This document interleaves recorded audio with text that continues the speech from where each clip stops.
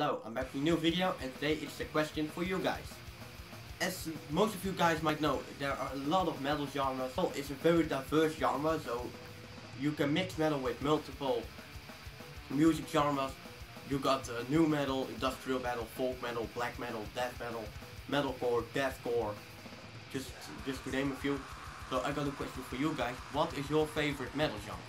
I don't I don't know if if other YouTubers might have asked the question before but I just want to know.